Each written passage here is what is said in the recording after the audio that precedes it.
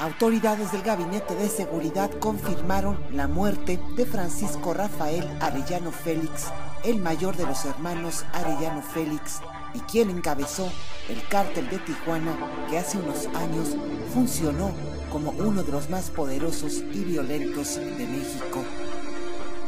Señalaron que el capo, quien fue deportado a México en 2008 por parte del gobierno de Estados Unidos, luego de cumplir una condena que le impuso un juez de ese país, fue asesinado en Los Cabos, Baja California, durante una fiesta infantil por tres hombres disfrazados de payasos. Tras el crimen, personal de la Armada de México y autoridades estatales desplegaron un operativo de seguridad en la zona sin que hasta el momento se haya informado si hay más víctimas o hubo personas detenidas en los hechos. El 4 de marzo de 2008 fue repatriado por el puente internacional del Paso en Texas, en la frontera con Ciudad Juárez, toda vez que recibió beneficios carcelarios por buena conducta.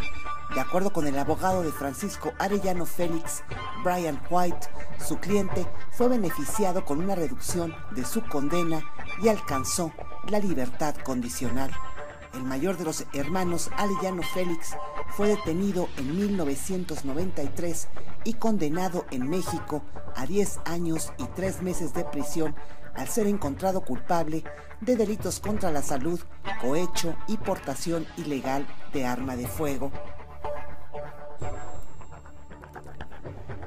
En septiembre de 2003, meses antes de que cumpliera su sentencia, el gobierno de Estados Unidos solicitó su extradición, toda vez que desde octubre de 1980 una corte de distrito con sede en el sur de California libró una orden de aprehensión en su contra por delitos contra la salud. El juicio de extradición de Francisco Rafael Arellano Félix concluyó en abril de 2004 cuando el juzgado quinto de distrito en materia penal y luego la Cancillería mexicana autorizaron su traslado a Estados Unidos para que enfrentara su proceso penal pendiente, ya que en México había cumplido su sentencia y no le quedaban acusaciones pendientes.